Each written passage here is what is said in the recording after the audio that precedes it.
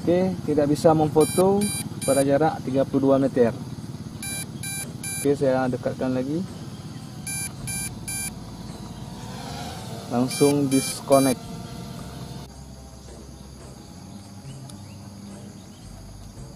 Sembilan empat, oke masih terbaca sembilan empat.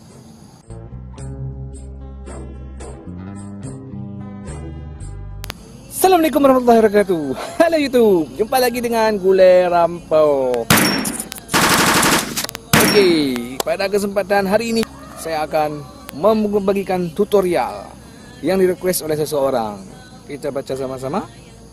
Om, nya bikin video YouTube cara cepet action nggak nganggu drone. Karena seperti kita tahu bahwa Untuk kita angkat cam action seperti ini Jaringan yang digunakan di sini adalah 2,4 GHz, sedangkan drone juga menggunakan 2,4 GHz. Kesimpulannya 2,4 2,4 bertemu ya berantem dia. Lah biasanya kalau misalkan kita pakai di MJX Box 3 atau di drone-drone yang manual tanpa GPS akan crash karena berbenturan sehingga sinyal remote yang didapatkan dengan yang diterima oleh drone itu terganggu karena ini. Nah, pada kesempatan kali ini saya akan membuktikan bagaimana cara supaya aman.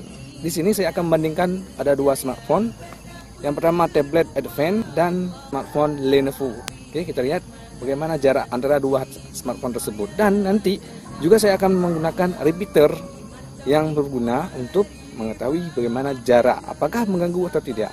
Serta saya akan menggunakan booster. Antara booster dengan tidak ada booster, apakah ada gangguan atau tidak pada drone serta pada game action. Oke, kemarin waktu saya buat gimbal operator ada yang komen uh, Om uh, kasih aja apa namanya besar supaya tidak terlalu bergetar. Oke pada hari ini saya sudah memodif gimbal yang kemarin saya buat. Masih tetap operator tapi di sini untuk stabilizernya saya menggunakan punya Yinzan i8H oke kita lihat apakah hasilnya oke atau tidak. Yups, jangan ke mana-mana, tetap di channel Gule Rampau. Oke, yang pertama-tama saya akan menggunakan jaringan wifi dari Cam Action yang sudah terhubung. Oke, nanti akan saya tes coba memfoto. Langsung kita tes terbangkan.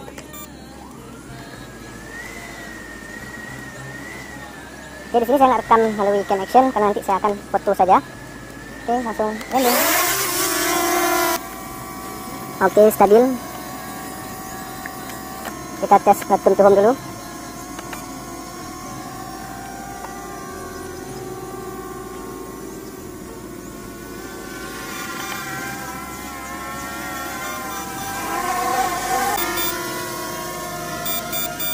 Oke, masih jarak 11 meter.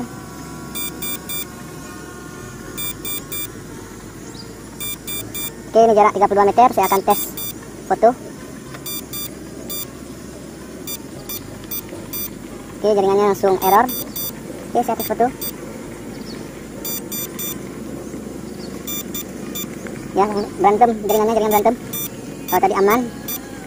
Ya berantem rupanya. Walaupun double stop ya berantem juga. Oke tidak bisa memfoto pada jarak 32 meter. Oke saya dekatkan lagi.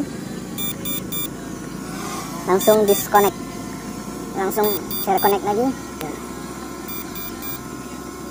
Ini sudah connect. Pada jarak 13 meter saya foto.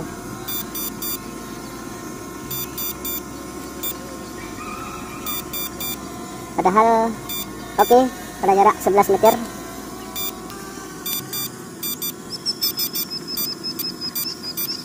Oke berantem berantem berantem jangan akan berantem.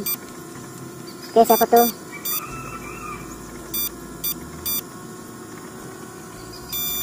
Oke, baterai habis. Siap-siap terjun payung.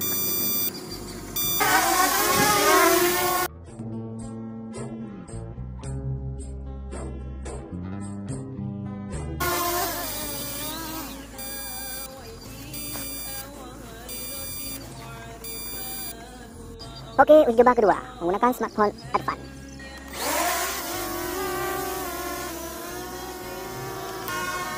Oke, masih pada jarak 5 meter sekarang kita lanjut. Pada jarak 10 meter. Kita tes foto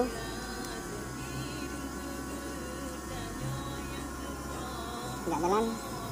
Oke terfoto. Oke sudah 78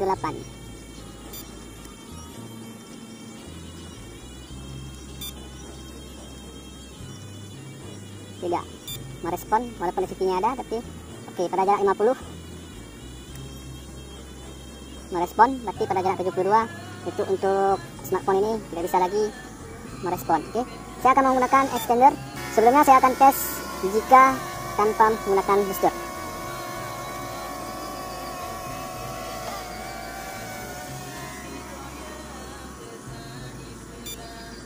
oke pada jarak 19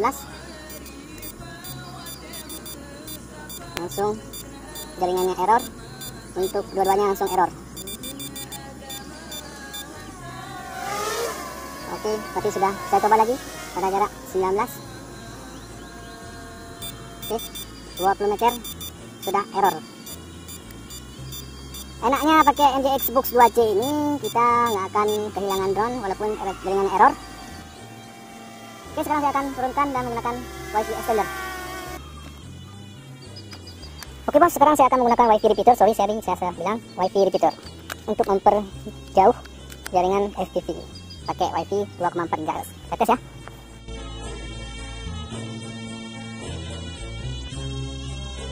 Berarti untuk wifi ini dia bernama wifi cam plus. Oke, yang pertama saya akan tes menggunakan booster.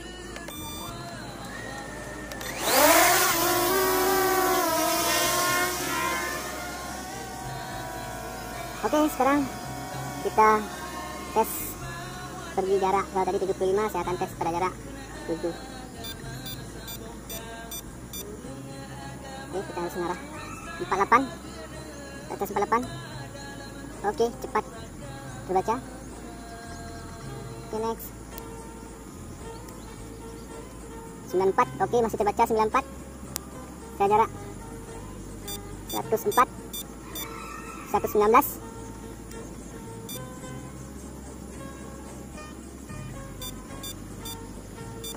oke. Pas tadi di 100 ya. Nah sekarang saya akan tes tanpa menggunakan booster.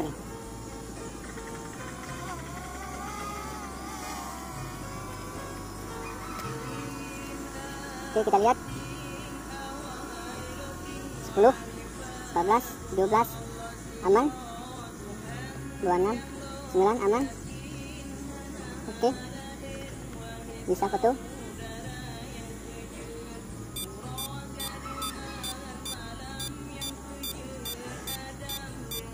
oke dia nampak. Bisa foto oke baterai habis low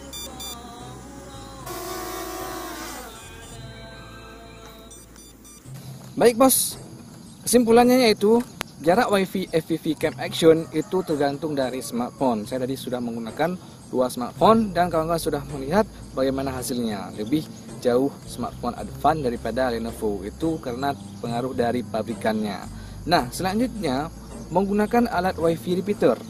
Dengan menggunakan alat wifi repeater ini bisa memperjauh jarak FPV cam action dan bisa memperjauh juga intervensi jaringannya. Tadi kawan-kawan sudah melihat bagaimana pada saat saya memakai repeater ini, remote dari MJX B2C itu jaraknya lebih jauh daripada jarak pada saat tidak menggunakan repeater ini. Oke, berarti alat ini juga sangat berguna. Dengan menggunakan antena booster ini, ya, antena booster, kita bisa mengatur sinyal drone. Jadi antena booster ini sangat berpengaruh pada saat wifi cam action dengan wifi drone itu berantem. Dan wifi cam action ini hanya cocok untuk drone dan GPS. Kenapa saya katakan seperti itu?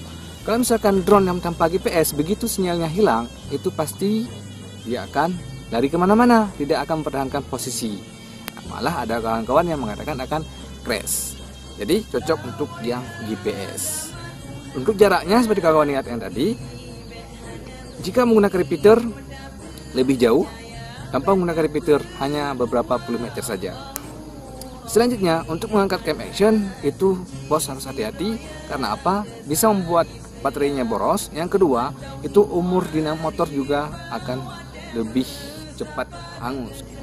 Jika kawan-kawan punya request-request tentang tutorial-tutorial menarik, silahkan add di Instagram atau Facebook Blerampo. Nanti insya Allah Blerampo akan membuat tutorial-tutorial yang menarik seperti kawan-kawan yang inginkan. Baik, terima kasih sudah menonton. Jangan lupa like video ini serta jangan lupa subscribe karena dengan kawan-kawan subscribe maka kawan-kawan akan mendapatkan tutorial-tutorial yang menarik dari Bully Rampo. Dan jika kawan-kawan yang sudah subscribe tapi tidak muncul notifikasi-notifikasi dari Bully Rampo, mungkin pada saat kawan-kawan subscribe itu tidak ada tanda loncengnya. Jadi silakan kawan-kawan buat tanda lonceng. Dan jangan lupa share kepada grup WA, Facebook, Instagram dan media-media sosial lainnya supaya Nah, sahabat-sahabat kawan-kawan nanti akan tahu bagaimana tutorial memodifikasi drone dari Bule Rampo. Oke, mohon maaf jika ada kekurangan dan silakan komentar di bawah. Semoga puasanya lancar-lancar aja dan mendapat pahala ya. Amin, amin, amin ya rabbal alamin. Baik. Assalamualaikum warahmatullahi wabarakatuh. Salam kreatif.